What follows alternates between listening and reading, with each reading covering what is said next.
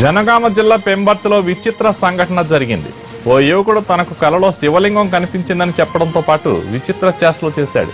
నడి రోడ్డుపై పడుకుని ఇక్కడే శివలింగం ఉందంటూ స్థానికులకు చెప్పాడు. దీంతో అతడి మాటలు నమ్మిన గ్రామస్తులు అతడు చెప్పిన చోట సుమారు పది అడుగుల మేర పెద్ద గొయ్యి తవ్వారు. అయితే అక్కడ ఎలాంటి శివలింగం కనిపించలేదు. విషయం తెలుసుకున్న అధికారులు అక్కడికి చేరుకుని యువకుడితో పాటు మరో ఐదుగురిని అరెస్ట్ చేశారు. దైవుడు దేవుడు బయటికి వెళ్తాడు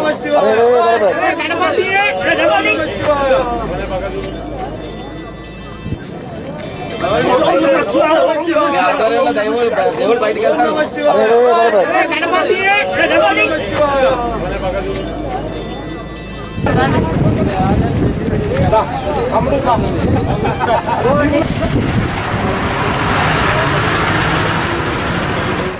పిచ్చి పీక్ స్టేజ్ దాటింది. మూడేళ్ళ క్రితం దేవుడు కలలో కనిపించాడంటూ ఇప్పుడు రోడ్డు పక్కన పెద్ద గొయ్యి యువకుడు.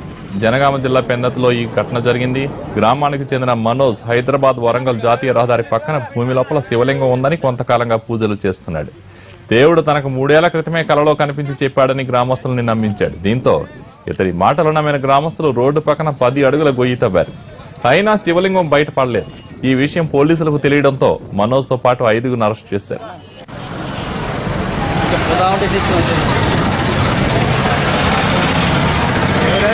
ज़रूर ज़रूर ज़रूर